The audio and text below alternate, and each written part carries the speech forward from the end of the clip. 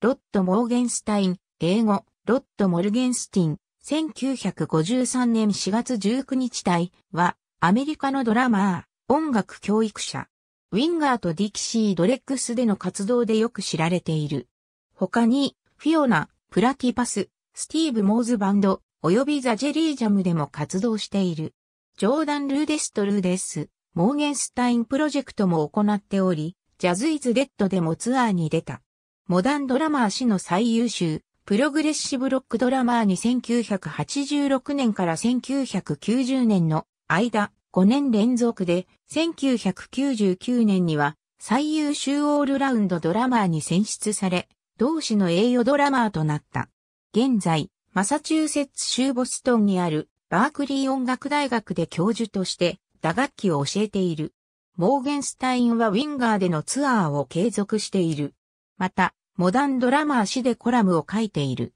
多種多様な音楽を演奏することでも知られている。モーゲンスタインは、プレミアドラム、エヴァンスドラムヘッド、セービアンシンバル、ヴィックファースドラムスティック、そして LP パーカッションを使用している。過去には、レモドラムヘッドとパイステシンバルを使用していた。ドラム、プレミアシグニアシリーズ、ドラムヘッド、エヴァンス、ドラムスティック、ビッグファース、基本的に5バイトと2バイトの融合との記載あり、シンバル、セービアン、パイステ、1988年頃。ありがとうございます。